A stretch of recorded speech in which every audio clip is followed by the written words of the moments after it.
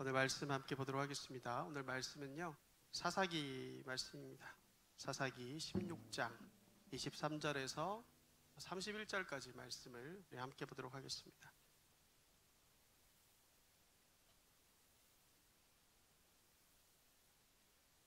어, 사사기 16장 23절부터 31절까지 제가 한 절 여러분이 한 절 마지막 31절은 함께 봉독하도록 하겠습니다. 블레셋 사람의 방백들이 이르되 우리의 신이 우리 원수 삼손을 우리 손에 넘겨주었다 하고 다 모여 그들의 신 다곤에게 큰 제사를 드리고 즐거워하고 백성들도 삼손을 보았으므로 이르되 우리의 땅을 망쳐놓고 우리의 많은 사람을 죽인 원수를 우리의 신이 우리 손에 넘겨주었다 하고 자기들의 신을 찬양하며 그들의 마음이 즐거울 때에 이르되 삼손을 불러다가 우리를 위하여 제주를 부리게 하자 하고 옥에서 삼손을 불러내매 삼손이 그들을 위하여 제주를 부리니라. 그들이 삼손을 두 기둥 사이에 세웠더니 삼손이 자기 손을 붙든 소년에게 이르되 나에게 이 집을 버틴 기둥을 찾아 그것을 의지하게 하라 하니라. 그 집에는 남녀가 가득하니 블레셋 모든 방백들도 거기에 있고 지붕에 있는 남녀도 3천 명 가량이라 다 삼손이 제주 부리는 것을 보더라. 삼손이 여호와께 부르짖어 이르되 주 여호와여 구하옵나니 나를 생각하옵소서. 하나님이여 구하옵나니 이번만 나를 강하게 하사 나의 두 눈을 뺀 블레셋 사람에게 원수를 단번에 갚게 하옵소서 하고 삼손이 집을 버틴 두 기둥 가운데 하나는 왼손으로 하나는 오른손으로 껴 의지하고 삼손이 이르되 블레셋 사람과 함께 죽기를 원하노라 하고 힘을 다하여 몸을 굽힘에 그 집이 곧 무너져 그 안에 있는 모든 방백들과 온 백성에게 덮이니 삼손이 죽을 때에 죽인 자가 살았을 때에 죽인 자보다 더욱 많았더라. 31절 말씀 함께 읽을까요? 그의 형제와 아버지의 온 집이 다 내려가서 그의 시체를 가지고 올라가서 소라와 에스다올 사이 그의 아버지 마누아의 장지에 장사하니라. 삼손이 이스라엘의 사사로 20년 동안 지냈더라. 아멘. 어, 한 시대를 아, 풍미했던 한 시대 가운데 어, 유명세를 떨쳤던 코미디언 중에 어, 이줄 씨란 분이 있습니다. 그는 코미디의 황제라고 칭호를 받을 만큼 우리나라 코미디의 역사에 환획을 그은 분입니다. 굉장히 유명한 분이지만 사실 저는 이 분이 뭐 직접 TV 매체를 통해 어떤 코미디언으로서 활약한 활약한 모습을 생방송으로 본 적은 거의 없습니다. 제 또래보다는 저희 윗세대, 저희 아버지 세대 분들이 매우 사랑하는 코미디언이었고 그분들이 이분의 위대한 업적들을 이야기했기에 아 이분이 한국의 코미디 역사에 큰 업적을 남겼던 유명한 분이구나라는 것을 알 정도입니다. 어, 사실 제게는요 그 고 이줄 씨가 뭐 유명한 코미디언이다, 뭐 코미디의 황제이다 이것보다 다른 더 큰 이미지 구체적으로 말하자면 어, 그분을 생각하면 그분을 떠오르면 한 단어가 생각납니다. 그것은 바로 후회란 단어입니다. 후회. 어, 저는 2002년 8월 고 이주일 씨가 이 땅에서 삶을 마치기 전에 TV 광고에서 했던 말이 생생하게 기억이 납니다. 그분이 폐암으로 돌아가셨거든요. 돌아가시기 직전에 TV 광고 공익 영상을 찍으셨는데 TV 영상에서 어, 얼굴 표정 가운데 후회가 가득한 표정을 지으시면서 이렇게 이야기하셨습니다. 담배 맛있습니까? 그거 독약입니다. 저도 하루에 두 갑씩 피웠습니다. 이제는 이게 정말 후회됩니다. 1년 전에만 내가 이것을 어, 끊었으면 좋았을 텐데 말입니다. 담배를 끊어야 합니다. 그러면 저처럼 이렇게 고통을 당하지 않을 겁니다. 라고 말했던 그 장면이 계속해서 생각이 납니다. 당시 그 장면이 저에게 너무나도 강렬하게 이 다가와서인지 뭐 저에게는 그분이 코미디언보다도 자신의 지난 과오, 자신이 잘못했던 것들에 대해서 후회하는 사람으로 더 깊이 저 가운데 각인이 되어 있는 것 같습니다. 여러분 삶에서 후회하지 않는 사람은 없습니다. 우린 다 삶에서 혹 때로는 어, 지나온 삶들을 반추하면서 또 했던 결정들을 돌아보면서 어느 정도의 후회를 하면서 날마다 우리는 살아갑니다. 때로는 이런 후회가 긍정적 면이 있어서요. 이전과는 다른 새로운 삶을 들어가게 하는 반전적 요소가 되기도 합니다. 그러나 어떤 후회는 자신의 삶에서 너무 늦게 나타나서 마치 고 이주일 씨처럼 삶에서 그렇게 큰 영향을 미치지 못하고 안타깝게 끝나는 경우도 있는 것 같습니다. 오늘 본문에서도요, 우리는 이와 비슷한 한 사람을 만나게 됩니다. 사사 시대라는 어둠의 시대에 하나님의 사사로 부름 받았지만 그 책무를 자기의 마음대로 감당했던 사람. 그래서 마지막에 자신이 살아온 인생을 후회하는 사람. 그러나 인생의 마지막 한 단 순간에는 빛을 발했던 사람. 바로 삼선의 최후를 우리는 오늘 성경을 통하여서 살펴보려고 합니다. 오늘 본문을 보시면요. 삼손의 마지막 모습이에요. 삼손이 죽기 직전 그가 어떠한 활약을 벌였는지에 대해서 성경 기자는 우리 가운데 말해주고 있습니다. 우리가 아는 바와 같이 삼손은 오늘의 사건 전에 보면 어떤 얘기가 나오냐면 들릴라라는 여인이 나오죠. 들릴라라는 여인의 유혹에 빠져서 머리가 깎이게 되는 수치를 당하게 되었습니다. 그로 인해서 이때까지 자신의 인생을 뽐내기 위해 자신이 원하는 대로 사용했던 강력한 모든 힘을 완전히 상실해버리고 말았습니다. 하나님께서 은혜로 주신 힘의 근원이 한 여인의 유혹으로 말미암아 완전히 상실된 것입니다. 힘이 없는 삼손은 이때까지는 힘이 있어가지고 아무도 그를 함부로 대할 수가 없었는데 힘이 없는 삼손은 당시 이스라엘의 대적이었던 블레셋에게 더 이상 문제가 되지 않았죠. 그래서 그들은 손쉽게 삼손을 붙잡습니다. 그리고 16장 21절을 보시면 어떻게 합니까? 16장 21절을 보면 이렇게 얘기합니다. 블레셋 사람들이 그를 붙잡아 먼저 붙잡았어요. 그 다음에 어떻게 하냐면 그의 눈을 빼고라고 얘기합니다. 그의 두 눈을 잔인하게 빼어버렸습니다. 그리고 어디로 끌고 가냐면 가사에 내려가라고 얘기하죠. 가사는 브레셋의 중요한 도시 중에 한 곳이에요. 그것으로 데려가서 노줄로 그를 맸습니다. 그리고 그에게 옥에서 맷돌을 돌리게 하였더라라고 얘기합니다. 그들은 삼손을 붙잡아 가지고요 두 눈을 빼버렸습니다. 그리고 블레셋의 다섯 핵심 도시 중에 하나인 가서로 그를 끌고 가서 줄을 맸습니다. 그리고 옥 안에서 맷돌을 계속해서 돌리게 했습니다. 이런 일들은요, 주석을 찾아보니까 당대에 가장 천한 노예가 했던 일입니다. 맷돌을 돌리는 일이요. 여러분 한번 이 장면을 머리 가운데, 머릿속 가운데 한번 이 그림을 한번 그려보시기 바랍니다. 어, 이 얼마나 비참하고 불쌍한 모습입니까? 어, 삼손이란 이름의 뜻이 뭐냐면 태양의 사람이라는 뜻이거든요. 태양의 사람, 태양이라는 뜻인데 어두운 사사 시대 가운데 태양처럼 빛의 역할을 감당하기 위해서 세워진 그가 블레셋 족속의 구경거리, 조롱거리로 전락하고 말았습니다.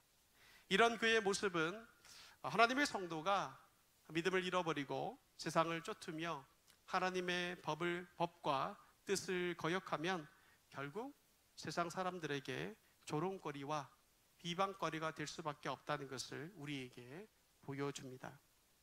그러나 여러분, 굉장히 절망적이고 굉장히 비참한 상황으로 보여지지만 하나님은요, 하나님의 사람들을 결코 내어 버리시지 않습니다.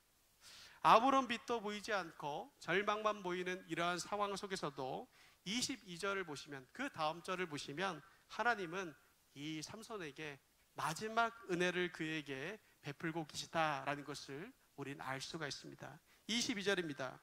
그의 머리털이 밀린 후에 다시 자라기 시작하니라 라고 얘기합니다. 머리털이 밀렸거든요. 그 다음에 시간이 지나면서 점점 이 머리털이 자라기 시작했습니다. 여러분 여기서 사사기 기자는요 단순히 삼손의 머리털이 자랐다는 어떤 물리적인 사실을 독자들에게 알려주기 위해서 이런 내용을 쓴 게 아닙니다. 머리털이 다시 자랐다는 것은 굉장히 중요한 상징적인 의미를 가지고 있습니다. 삼손이 여러분 언제 자기의 힘을 상실했습니까? 바로 들릴라가 자신의 머리카락 일곱 가닥을 잘랐을 때입니다. 그리고 19절에 보면 그때 그의 힘이 없어졌고 그리고 20절에 보면 여호와께서 삼손을 떠나신 것을 그가 알지 못했다라고 얘기합니다. 그러니까 여기서 알 수 있는 건 뭐냐면 삼손의 힘의 근원이 어디서부터 나오는 거냐면 그의 근육과 어떤 다부진 체격에서 나오는 게 아니에요. 하나님께서 그와 함께 하셨을 때 그 힘이 나온다는 것을 우리는 알 수가 있습니다. 그런데 지금 그렇게 잘린 머리카락이 다시 자라난다라는 것은 하나님이 다시금 삼손과 함께 하심으로 말미암아 그가 가지고 있었던 힘과 능력이 회복되겠다는 복선이 이 말씀 가운데 깔려 있는 거예요. 그래서 어떤 학자들은요, 이 구절을 어떻게 해석하냐면, 이 머리털이 뭐냐라고 얘기하냐면, 하나님의 임재를 상징한다라고 보기도 합니다. 아무튼, 이런 회복의 복선이 그려져 있고요. 블레셋의 조롱거리로 삼손이 지내고 있었을 때, 오늘 본문을 이제 들어가 보면, 블레셋 사람들이 한 곳에 모여가지고 그들이 섬기고 있었던 신인 다곤에게 큰 제사를 드리며 기쁨의 축제를 벌리고 있습니다. 축제 속에서 사람들은 굉장히 열광하죠. 열광하면서 소리를 막 지릅니다. 우리의 신이 우리 백성을 많이 죽인 삼손을 우리에게 넘겨주었다. 뭐 우리가 믿는 신이 진짜다. 우리의 신이 저들이 믿는 여호와 하나님보다 강하다. 라고 얘기하면서 우리가 믿는 신에게 그러니까 감사해야 된다라고 이렇게 외치면서 그들이 열광 가운데 있었습니다. 성경은 이런 그들에 대해서 뭐라고 얘기하냐면 그들의 마음이 즐거웠다라고 표현하고 있는데 직역하면요 이는 술에 취해서 마음이 흥분되었다는 뜻입니다. 인간이 얼마나 욕망에 충실한 존재인지요. 그렇게 술에 취하고 흥분된 열기 속에서 그들은 자신들의 흥을 더욱더 돋구고 싶은 욕구가 막 치밀어 오는 거예요, 마음 가운데. 그래서 그들이 어떻게 합니까? 옥에 지금 갇혀가지고 맷돌을 돌리고 있는 삼손을 불러냅니다.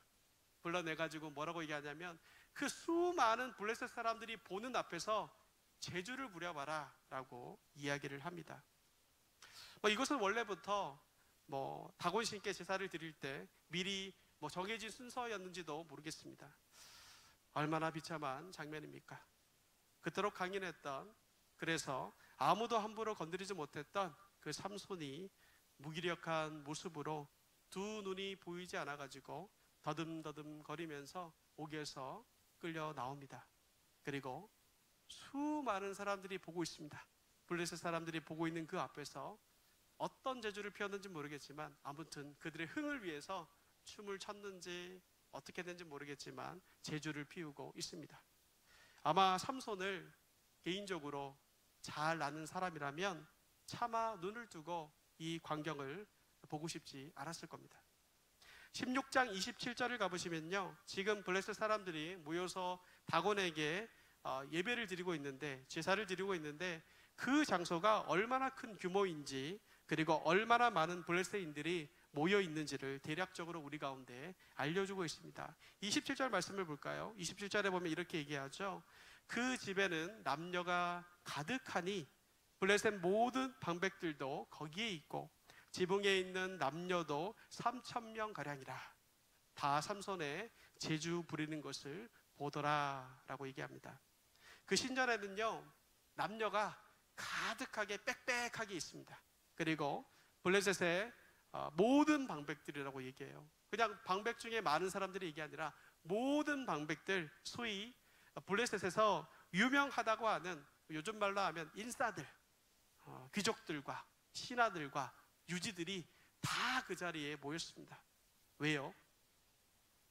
그들 모두 한때 엄청난 대적이었던 어, 그들의 항상 그들에게 골칫거리였던 삼손이 힘없이 제주 부리는 것을 보고 싶은 마음에 또한 예배를 드리려고 이 신전 가운데 그들이 모인 것입니다. 어, 성경 기자가 묘사한 바에 따르면 이 신전은요 2층으로 되어 있던 것 같은데 지붕에 지붕 즉 2층에 남녀가 3천 어, 명 가량 있었다라고 얘기하죠. 2층에 3천 명이 있는 거예요. 2층이 3천 명이니까 여러분 상식적으로 생각해 봤을 때 1층에는 몇 명이 있겠습니까? 2층보다 훨씬 더 많은 사람이 아래층에 있었을 겁니다. 아마 1층에는 2층의 두배 혹은 어, 세 배, 그러니까 이 다곤 신전은 한만 명 정도의 사람이 어, 들어가서 예배를 드릴 수 있는 제사를 드릴 수 있는 엄청나게 큰 규모의 회관이었습니다. 이렇게 많은 사람들 앞에서 약 만 명의 사람들이 있는 앞에서 제주를 부려야 하는 삼손의 마음이 어떠했을까요? 삼손의 마음이 어, 즐겁고 흥분되고 어, 기뻤을까요? 야, 내 앞에, 내 눈앞에 관객이 굉장히 많구나. 내가 이렇게까지 많은 관객 앞에서 내가 제주를 부린 적이 없는데 그렇게 하면서 마음의 감동을 받으면서 야, 정말 감격스럽다. 그렇겠습니까? 그러지 않았겠죠. 수치스러움과 모멸감에 그는 정말 생애에서 경험할 수 없는 최고의 비참함을 느끼고 깊은 탄식에 빠졌을 겁니다. 그렇게 제주를 부리면서 그런 모멸감과 수치심과 부끄러움과 인간이 겪을 수 없는 있는 최정점의 비참함을 느끼고 있는 삼손에게 아마도 제주를 부리다가 휴식 시간이 삼손에게 주어졌던 것 같아요. 그래서 삼손이 어떻게 하냐면 눈이 보이지 않으니까 그를 안내했던 소년이 있었는데 그 소년에게 나지막히 이렇게 부탁합니다. 나를 이 신전을 버티고 있는 기둥에 의지하게 하라. 즉 기둥에 기둥 쪽으로 데려가 달라 이 말이죠. 여기에서 의지하다라는 말은요 원래는 이런 말입니다. 조용히 쉬게 하라 이 말입니다. 즉 삼손은 지금 피곤한 척하면서 자신이 피곤한 척하면서 자연스럽게 이 신전을 버티고 있는 기둥으로 접근했음을 알려주고 있는 것이죠. 바로 그때 수많은 사람들, 수많은 남녀가 모여 있고 블레셋의 모든 귀족들이 다 모인 바로 그 자리에서 삼손은 마음을 다해서 하나님께 부르짖습니다. 아마도 자신의 인생 가운데 가장 절규하며 부르짖었던 어, 그런 외침이 아닌가 생각이 듭니다. 28절을 보면 이렇게 얘기하죠. 삼손이 여호와께 부르짖어 이르되 주 여호와여 구하옵나니 나를 생각하옵소서. 하나님이여 구하옵나니 이번만 나를 강하게 하사 나의 두 눈을 뺀 블레셋 사람에게 원수를 단번에 갚게 하옵소서 하고 라고 얘기합니다. 제가 그냥 이렇게 읽었지만 삼손은 아마도 절규하면서 음, 이 장면을 보면서 그런 생각이 들었어요. 예수님께서 마지막에 십자가상에서 어, 숨을 거두기 직전에 나의 하나님, 나의 하나님, 어찌하여 나를 버리셨나이까? 그 장면에 자꾸 생각이 나더라고요. 그와 비슷한 심정으로 그 정도의 간절함으로 이렇게 외치지 않았을까 생각이 들어요. 여러분 우리가 이 간구에서 초점을 맞추어야 하는 것은 바로 삼손이 지금 누구에게 부르짖고 있는가입니다. 바로 하나님께 부르짖고 있습니다. 비슷한 말이 두 번 나오거든요. 삼손이 여호와께 부르짖어 이르되는요. 이 사사기를 기록한 기자가 얘기를 한 거예요. 그리고 실제로 삼손이 말한 외침은 두 군데 나옵니다. 28절을 다시 보시면 삼손이 여호와께 부르짖어 이르되 뭐라고 얘기합니까? 주 여호와여 구하옵나니 나를 생각하옵소서. 하나님이여 구하옵나니 이번만 나를 강하게 하사 나의 두 눈을 뺀 블레셋 사람에게 원수를 단번에 갚게 하옵소서라고 얘기합니다. 여러분께서 생각하실 때 아니 삼손이 하나님을 몰랐던 사람도 아니고 지금 하나님이여 여호와여 이렇게 부르짖으며 하나님을 찾는 것이 뭐가 대단합니까? 라고 생각하실지도 모르겠습니다. 그러나 여러분 삼손의 인생을 우리가 잘 안다면 이 장면은요 굉장히 특별합니다. 그리고 굉장히 큰 의미를 지니고 있습니다. 여러분 사사기의 마지막 사사는요 삼손이거든요. 삼손에 대한 기록은요 사사기 13장부터 16장까지 총 4장에 걸쳐서 기록이 되어 있습니다. 그런데 13장의 내용은 사실 삼손이 그의 부모를 통해 태어나는 이야기가 주된 내용이에요. 그렇게 보면 사실상 삼손에 대한 기록은 14장, 15장, 16장 총 3장에 불과합니다. 14장에서 삼손은 사사의 직무에 어긋난 일도 많이 했지만 아, 때로는 블레셋을 물리치기도 하고 어, 그리고 15장에 가보면 나귀 턱뼈로 사람을 죽이는 등 굉장히 놀라운 일들을 우리 가운데 아, 보여주고 있습니다. 어, 그런데 여러분 그런 삼손의 인생이 뭐 짤막하게 기록되어 있지만 핵심만 기록되어 있지만 그런 삼손의 인생에서 불행하게도 그는 하나님의 위대한 이름을 진실되게 부른 적이 단 한 번도 없었다는 사실을 우린 주목해야 합니다. 15장을 보면요. 한 사건에서 그가 하나님을 부른 것 같은 하나님의 이름을 부른 것 같은 사건이 등장하고 있습니다. 어, 거기를 보면 어떤 장면이 나오냐면 삼손이 나귀 턱뼈를 가지고 블레셋 사람 1천 명을 죽이는 장면이 나오거든요. 가만히 생각해 보면 그냥 서 있는 사람 1천 명을 죽이는 것도 굉장히 힘든 일인데 막 움직이고 막 싸우는 사람들을 상대로 1천 명을 죽였으니까 이 삼손이 육체적으로 얼마나 힘이 들었겠습니까? 싸움이 끝난 다음에 삼손이 목마름 가운데 죽을 지경에 놓여가지고 그가 이렇게 아, 부르짖습니다. 사사기 15장 18절을 보면 이렇게 얘기합니다. 삼손이 심히 목이 말라 여호와께 부르짖어 이르되 이것도 성경 기자가 얘기하는 거죠. 이렇게 실제로 얘기한 건 이 뒷말인데요. 주께서 종의 손을 통하여 이 큰 구원을 베푸셨사오나 내가 이제 목말라 죽어서 할례 받지 못한 자들의 손에 떨어지겠나이다 하니라고 얘기합니다. 우리말 성경에는요 주께서라고 얘기돼 있어요, 그렇죠? 주께서라는 말로 번역되어 있기 때문에 마치 삼손이 하나님의 이름을 간절히 찾은 것처럼 보여집니다. 그러나 히브리어 성경에는요 그렇게 되어 있지 않습니다. 하나님의 이름을 상징하는 그 언어들로 단어들로 얘기되어 있지 않습니다. 히브리어 성경은 뭐라고 얘기하고 있냐면 직역하면 당신이입니다. 당신이 당신이 종의 손으로 이근 구원을 베푸셨사오니라고 얘기합니다. 이처럼 그는 사실 하나님의 이름을 부르지 않았습니다. 대상은 여호와이지만 그분의 거룩한 이름 엘로힘, 야훼, 아도나이 그런 같은 이름으로 부르지 않았다는 거예요. 행여나 당신이란 말이 하나님을 가리킨다 해도 이 부르짖음은요 자기의 육체적인 결핍을 채우기 위한 다급한 요구에 지나지 않았습니다. 이제 그 삼손에게 무수히 많은 일들이 그의 생애 가운데 있었지만 그는 어떠한 상황 속에서도 하나님을 찾는 자가 아니었습니다. 그런 그가 목이 말라가지고 다급해지니까 자신의 육체의 욕구를 채우기 위해서 하나님께 요청을 한 것입니다. 이런 그의 모습은 이전에도 정력을 쫓아 살아가고 육체의 필요를 채우기 위해서 스스럼 없이 살아갔던 그의 모습과 일치하고 있음을 우리 가운데 보여주는 것이죠. 여러분, 이스라엘을 구원하기 위해 세워진 사사라면 그리고 사사로 부름받은 자라면 그의 입술 가운데 가장 많이 고백되어야 되는 것이 하는 것이 누구이겠습니까? 하나님이시고 하나님께 도우심을 구하는 간구의 소리여야 할 것입니다.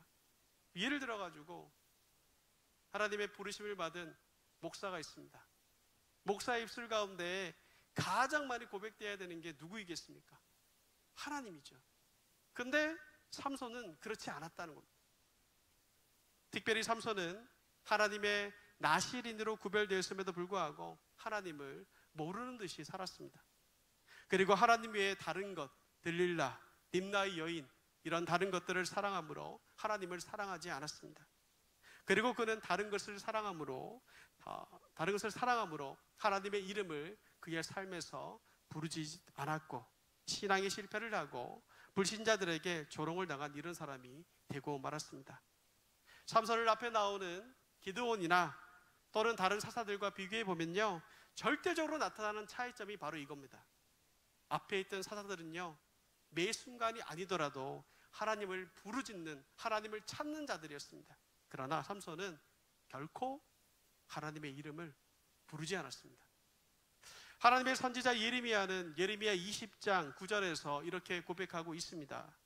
내가 다시는 여호와를 선포하지 아니하며 그의 이름으로 말하지 아니하리라 하면 나의 마음이 불붙는 것 같아서 골수에 사무치니 답답하여 견딜 수 없나이다.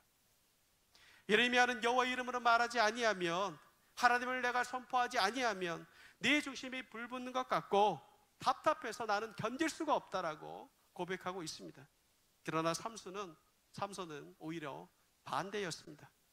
자신이 가진 육체의 힘으로 알량한 지혜로 모든 것이 다 된다라고 생각하고 살아왔기에 그래서 진정으로 그의 생애 가운데 안타깝게도 온 마음을 다하여서 진실되게 정말로 간절히 하나님을 부른 경우는 인생의 마지막 순간 오직 한 번밖에 없었습니다. 마지막 죽기 직전 삼손은 이때까지 그의 인생 가운데 진실되게 부르지 않았던 하나님을 두 번 부르죠. 주 여호와여 하나님이여 라고 부릅니다. 정말 슬프게도 이것은 삼손에게 있어서 처음이자 마지막인 여호와 하나님에 대한 부르짖음이었습니다. 이 간구를 하면서 그는 분명 이제껏 하나님을 찾지 않았던 자신의 인생을 돌아보면서 분명 후회와 비통함을 느꼈을 것입니다. 28절 말씀을요, 좀 더 실감나게 삼손이 가진 이런 마음을 이해할 수 있도록 의역해서 제가 한번 읽어드리겠습니다. 하나님, 어, 머리털이 잘리고 눈이 뽑힌 한때 나시린이었고 당신의 사사였던 저를 좀 봐 주십시오. 그렇습니다. 하나님, 저는 그 어떤 것도 요구할 자격이 없다는 것을 잘 알고 있습니다. 제가 다 망쳤습니다. 제 마음에는 후회가 가득하고 저 때문에 지금 당신이 수치당하고 있음에 죄송할 따름입니다. 그러나 하나님, 제발 이번만 나로 강하게 하사 내게 맡기신 사명, 나의 마지막 전투를 감당하게 하옵소서. 나의 보잘것 없어진 생명을 드리오니 제발 한 번만 내게 힘을 주옵소서라고 그는 간구합니다. 그는 하나님을 한 번도 진정으로 삶에서 부르지 않고 살다가 최후의 순간에 하나님께로 돌아왔습니다. 최후의 순간에라도 하나님을 부르고 돌아온 것은 불행 중 다행이지만 삼손의 지난 세월의 시간이 참으로 아깝습니다. 한마디로 그는 일생 동안 좀 심한 말로 하면 헛된 삶을 산 것입니다. 겉으로는 난 사사다. 난 나시린이다. 난 주님을 위해 산다. 난 하나님께 영광을 돌린다. 라고 말하며 무언가를 했을지 모르겠지만 실상 그 속 질신된 곳을 쳐다보면 하나님이 없는 텅 빈 깡통과 같은 삶을 그는 살았던 곳입니다. 여러분, 이런 모습들이 얼마든지 우리에게도 가능하지 않겠습니까? 정말 수많은 분들이 교회 안에서 얼마나 열심히 주님의 이름으로 봉사를 하고 섬기는지 모릅니다. 하나님의 이름으로 그 앞에서 직분도 받고 예배도 드리고 차장도 하고 기도도 하고 목회자들은 부르심을 받고 설교도 합니다. 그러나 그렇게 살면서 우리의 속마음을 진실되게 돌아볼 필요가 있습니다. 정말 내가 봉사하는 것이 주님을 위한 것인지를 그리고 내가 예배드리고 하나님을 위해 한다고 하는 그 모든 것이 주님을 위한 것인지 아니면 나를 위한 것인지를 아닌지를 우린 돌아봐야 될 것입니다. 우리도 삼손처럼 겉만 하나님이란 이름으로 포장되어 있고 하나님을 향한 진정한 간구는 없는 텅 빈 신앙생활을 하고 있지는 않는지를 생각해 보아야 되겠습니다. 어, 삼손이 이렇게 하나님의 이름을 간절히 불렀을 때 그곳에 있던 블레셋 사람들은 어떻게 반응했을까요? 뭐 성경에 나오지 않는데 뭐 아마도 비웃었을 것 같아요. 삼손이 막 기도하기 기도하는데 기도하면서 막 간구하는 그 모습을 보면서 블레셋 사람들이 막 비웃고 조롱했을 것 같, 습니다 아니면 그들이 너무 흥분한 상태여가지고 삼손이 무슨 말을 하는지조차도 어, 듣지 못했을 수도 있습니다. 그때 삼손이 신전을 지지하고 있는 두 기둥을 양손으로 붙잡죠. 그리고 블레셋 사람들과 함께 죽으리라 라고 외치면서 힘껏 그 기둥을 밀어버렸고 그 두 기둥이 딱 빠짐에 따라서 그 거대한 신전이었던 다곤 신전이 한순간에 풀썩 주저앉고 말았습니다. 다곤 신을 찬양하며 흥분 상태에 있던 그들의 찬양이 일순간 비명 소리와 곡소리와 신음 소리로 바뀌어 버렸습니다. 그날 수많은 이방 블레셋 민족들이 삼손과 함께 그곳에서 죽었습니다. 성경 기자는요 그날의 상황에 대해서 이렇게 담담하게 기록하고 있습니다. 사사기 16장 30절입니다. 삼손이 이르되 블레셋 사람과 함께 죽기를 원하노라 하고 힘을 다하여 몸을 굽히매 그 집이 곧 무너져 그 안에 있는 모든 방백들과 온 백성에게 덮이니 뭐라고 얘기해요? 삼손이 죽을 때에 죽인 자가 살았을 때의 죽인 자보다 더욱 많았더라 라고 얘기합니다. 여러분 마지막 성경 기자의 평가를 주목해 주시기를 바랍니다. 삼손이 죽을 때의 죽인 자가 살았을 때의 죽인 자보다 더욱 많았더라 라고 얘기합니다. 이 말은 무슨 뜻일까요? 이것은 삼손이 이제껏 살았을 때에 하나님의 일을 한 것보다 삼손이 죽기 직전에 하나님의 일을 하던 것이 더 크다라는 말입니다. 삼손이 살았을 때에 하나님의 영광을 나타내는 것보다 삼손이 죽을 때에 하나님의 영광을 나타내는 것이 더 위대하다 그 말입니다. 정확하진 않지만 추정하기를 삼손이 50세쯤 생애를 마감했다라고 생각을 합니다. 그가 살아온 50년의 긴 세월이 있잖아요. 그것보다 마지막 하나님 앞에 외치면서 힘을 다했던 그 몇 초? 그 몇 분? 그 마지막 죽음의 순간에 더 위대한 하나님의 사사로 그가 드러나게 되었다는 말입니다.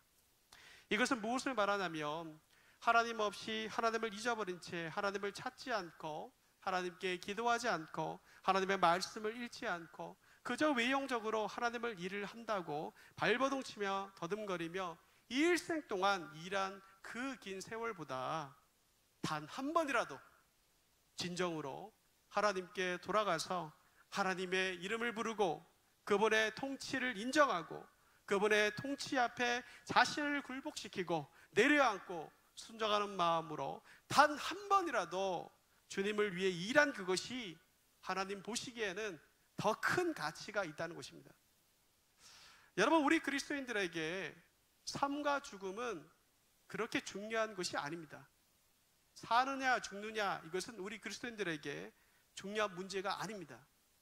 세상에 예수를 알지 못하는 사람들은 사느냐, 죽느냐를 가지고 발버둥 치지만 우리 성도는 사느냐 죽느냐를 가지고 발버둥 치는 것이 아니라 우리의 삶에서 진정으로 하나님께 영광을 돌리느냐 아니냐 영원하시고도 무궁하신 하나님의 이름을 진정으로 나타내느냐 아니냐 이것을 놓고 우리가 씨름을 해야 합니다. 성도가 싸워야 할 것은 어떻게 하면 오래 살 것인가?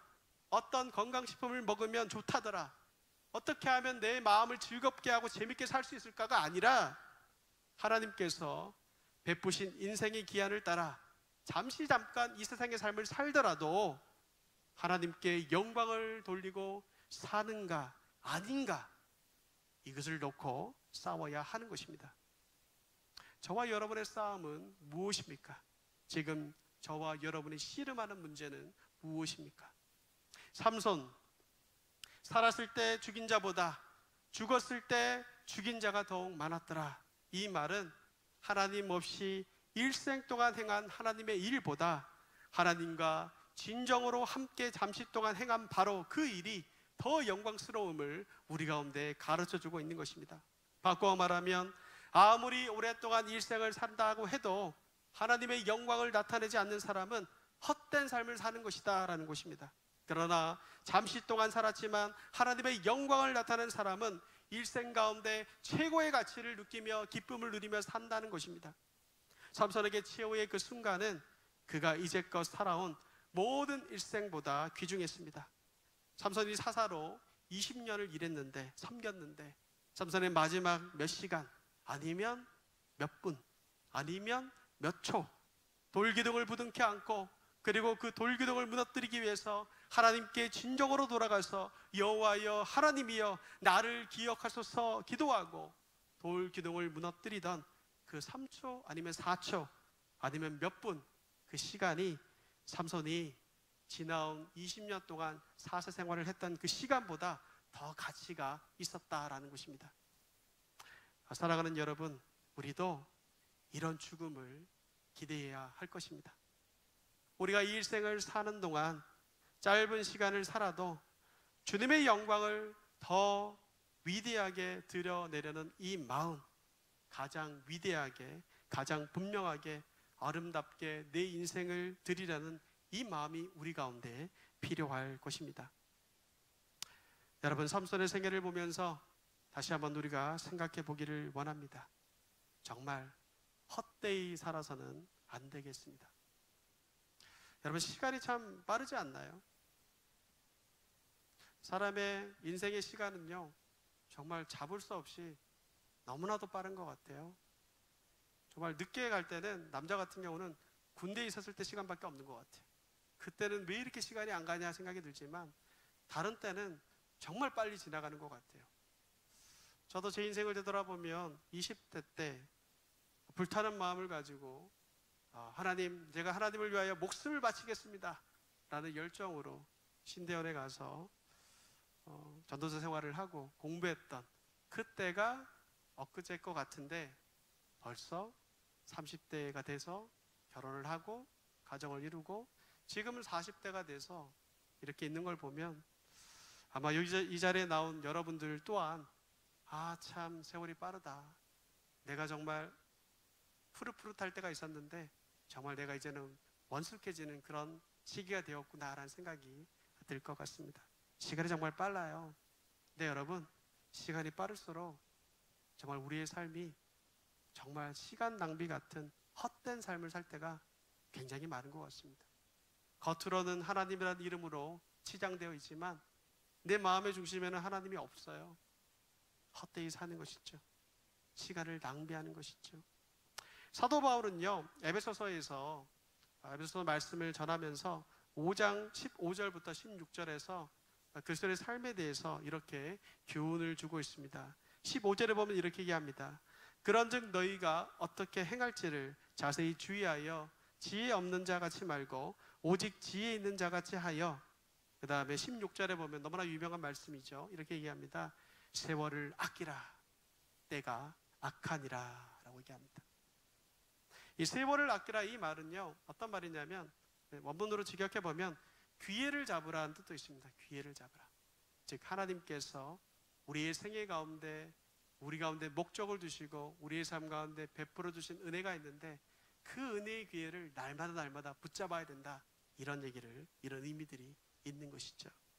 오늘 삼손의 세월을 삼손의 인생들을 다시 한번 우리가 돌아보면서 저와 여러분은 어떤 삶을 살고 있는지를 다시 한번 돌아보는 시간이 되기를 원합니다. 여러분 후회가 없는 삶을 살고 계십니까? 여러분 헛되지 않는 삶을 살고 계십니까? 여러분 정말 가치 있는 삶을 살고 계십니까? 다시 한번 말씀 가운데 우리의 마음과 우리의 모습을 정직하게 비추어 보고 지금부터라도 만약 내 생애를 되돌아봤을 때 아, 하나님 저도 삼손처럼 겉은 화려한데 겉은 하나님의 이름으로 포장되어 있는데 속이 없는 정말 헛된 삶을 산 것 같아요 라는 마음이 든다면 이제부터라도 돌이켜서 마지막 삼손이 하나님 앞에 진정으로 주님을 부르짖고 그분을 찾았던 것처럼 우리도 이후의 삶에서는 주님을 진실되게 부르고 주님을 진정으로 찾는 우리가 되어지기를 소원한다라는 것입니다. 오늘 살아가면서 또 인생을 살아가면서 후회하지 않는 인생, 헛되지 않는 인생, 정말 하나님 보시기에 정말 가치 있는 인생을 살아가는 저와 여러분이 되기를 간절히 기도합니다. 함께 기도하겠습니다.